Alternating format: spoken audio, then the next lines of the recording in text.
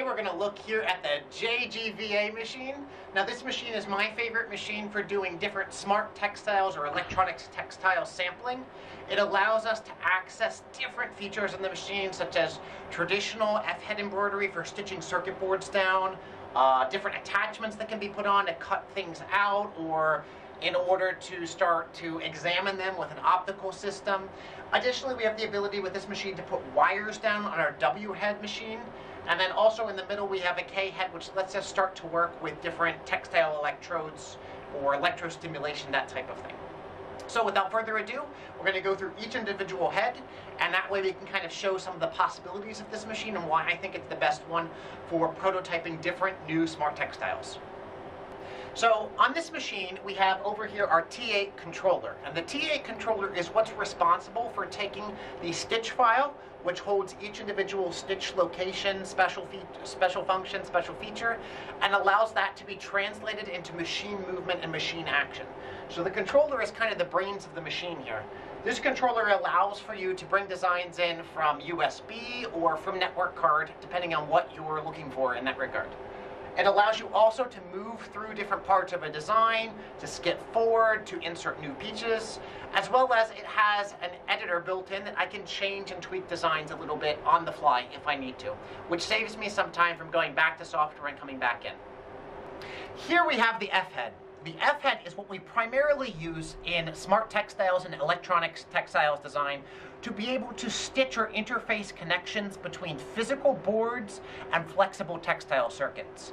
And so from this machine and this head, we have a very high stitch precision accuracy. And this allows us to stitch directly into mounting holes on circuit boards or allows us to stitch into fiducials into other different types of media, allowing an interface between rigid structures and flexible uh, embroidered structures. We also have the ability to do nine different needles here.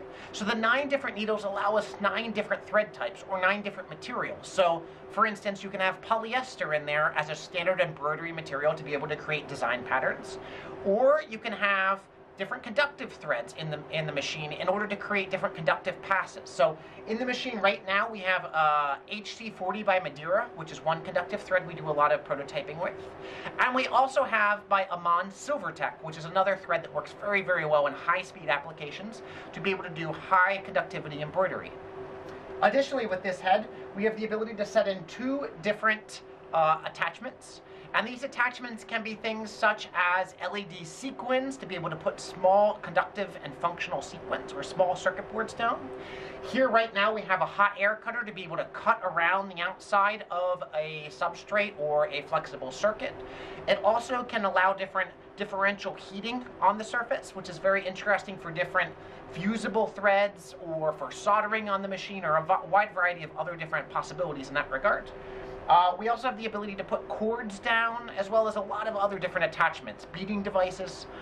A lot of these different attachments allow us to really look at new plays of interfacing new technologies with embroidery, increasing the amount that the machine can do.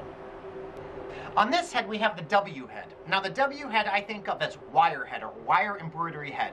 And what this head lets us do, especially for smart textiles and electronics textiles, is to place wires or other highly conductive media down to create very, very high conductive circuits or low resistance circuits.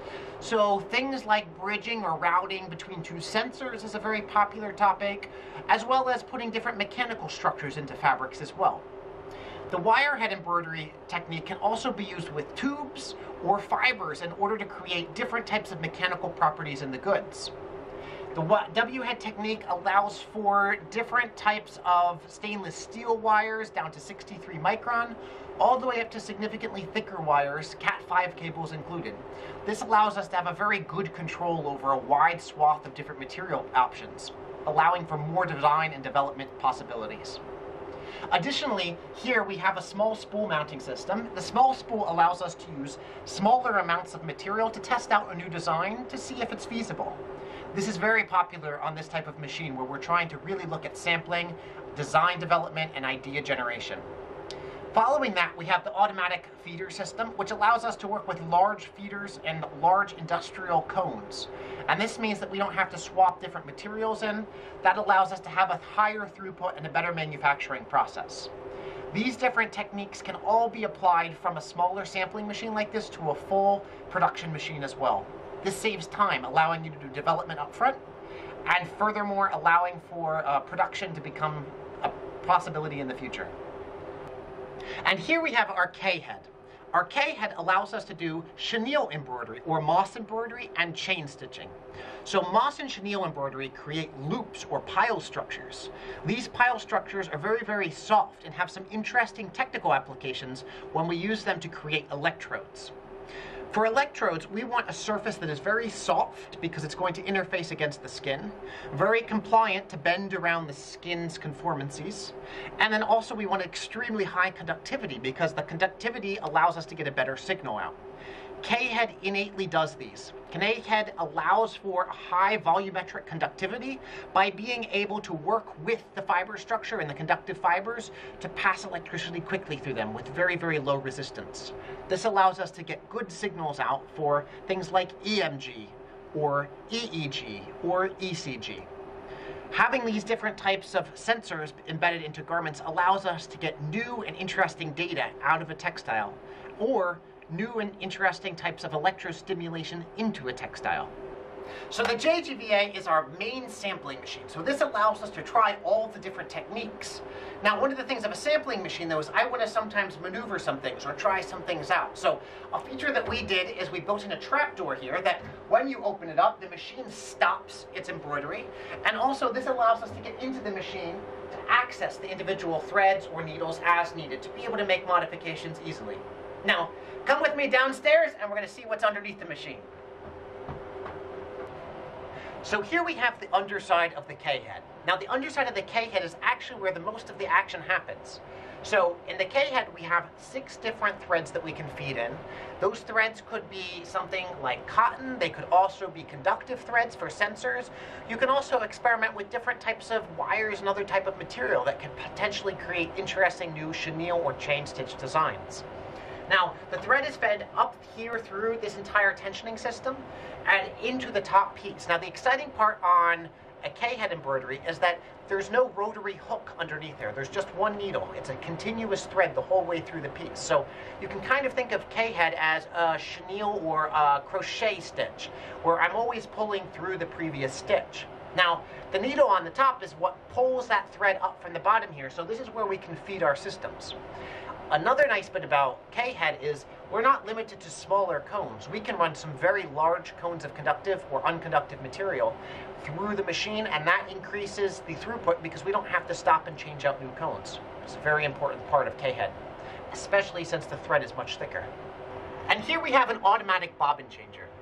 The automatic bobbin changer allows for the machine to replace its own bobbins, increasing the speed of embroidery and decreasing the operator usage. So what this automatic bobbin changer does is it actually allows you to match top thread to bottom thread. So for instance, I can put conductive thread on the top and the bottom, or I can program it to have conductive thread just on the top, or conductive thread just on the bottom. This allows us to actually use these embroidered uh, textile preforms as two-layer circuit boards, where I can have a conductive surface A or top surface. I can have vias of conductivity with top and bottom to pass that uh, electrical connection through the, uh, the middle of the fabric. And then I can also have conductivity just in the bottom. This allows me to create two-layer circuit boards much like we would traditionally do in PCB design. The automatic bobbin changer allows for a high level of automation in the machine and further decreases the operator's touch time when working on different conductive and smart textile applications.